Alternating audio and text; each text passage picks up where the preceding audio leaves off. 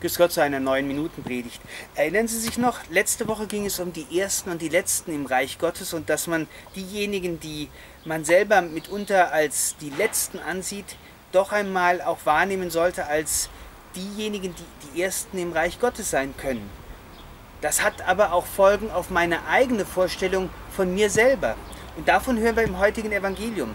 Denn da redet Jesus davon, dass diejenigen, die als Christen, als seine Nachfolger irgendwo eingeladen werden, nicht immer nach dem Ehrenplatz suchen müssen, nicht immer nach dem ersten und besten äh, Punkt, wo sie sich in Szene setzen können, sondern dass sie sich bescheiden auch einmal im Hintergrund bewegen können und dürfen, ja geradezu sollen, dass sie nicht suchten und suchen sollen, wo sie im Vordergrund stehen, sondern dass es ihnen wichtiger darum gehen musste, dass Christus, dass Gott im Vordergrund steht und dass aus dieser Verbindung mit ihm sie dann die Ehre, die ihnen verheißen ist, dann auch bekommen können.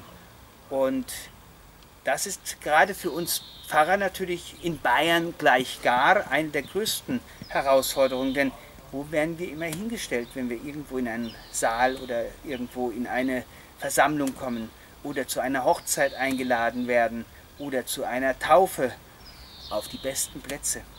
Ich habe mir mittlerweile angewöhnt, dass ich mich eigentlich, nachdem ich die Menschen in den Räumen begrüße, eigentlich immer zu einem Platz hinführen lasse.